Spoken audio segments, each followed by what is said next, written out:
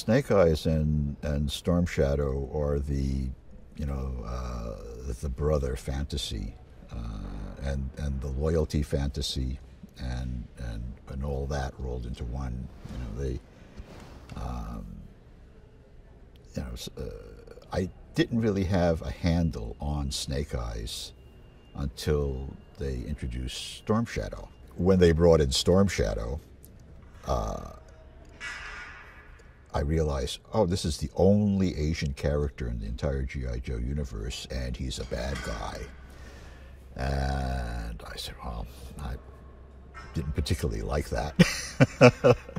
and uh, so I, I was trying to figure out what I could possibly do about that. So I decided, okay, I'll, I won't tell Hasbro, but I'll just change him into a good guy over the course of a year in, within the storyline. And uh, in order to do that, I had to establish this relationship between the two characters. And um, so, in, in, the very first time that they meet, in um, issue number 21, which is a silent issue, uh, I got to the middle of the story and they're fighting, and both of their sleeves get torn. And um, I thought, wow, what can I, I could what can I do with that? And I thought, I'll give them the same tattoo.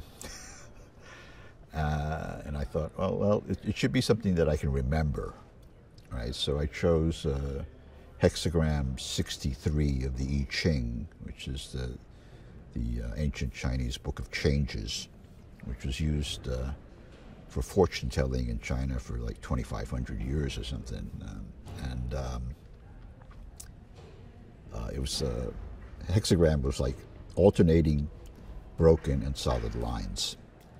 Uh, had no idea why they both had it, or what it signified, or anything. I just put this symbol on, on their arms. And then four issues later, I had to figure out why.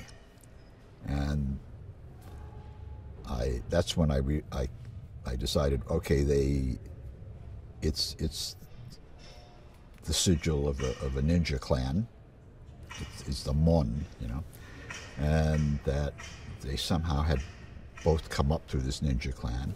And then I thought, well, how how do I set that up? And then I came up with the backstory about them being in the war together and uh, comrades. And Snake Eyes has this horrible tragedy, and um, uh, Storm Shadow takes him into the into the clan.